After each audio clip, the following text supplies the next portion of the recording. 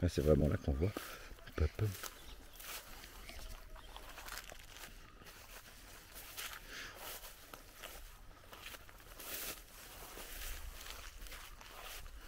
So we go on the last property line, which is just down here, 20 meters. And here we face, we have Playa Marsella up here